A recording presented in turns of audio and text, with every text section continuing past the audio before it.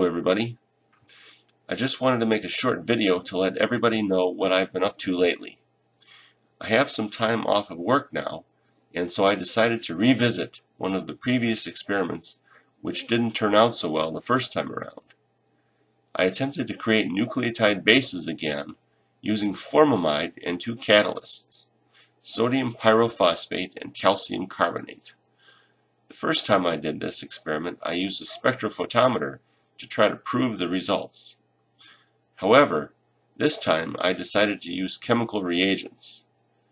I heated the formamide solution at 130 Celsius for 24 hours and then at 150 Celsius for 24 hours. The chemical test which I performed on the resulting solution was a test for purines.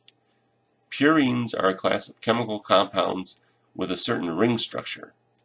And why this is relevant is that two of the nucleotide bases are purines, namely adenine and guanine. The test is as follows.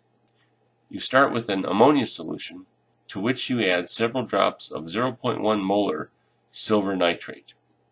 You then add your test solution. If purines are present in your sample, a fluffy white precipitate will form. I performed the test on my solution a few times, and indeed, it looks like I have created purines from my formamide solution, getting the same white fluffy precipitate each time. I plan to replicate this experiment on camera soon, so stay tuned and thanks for watching.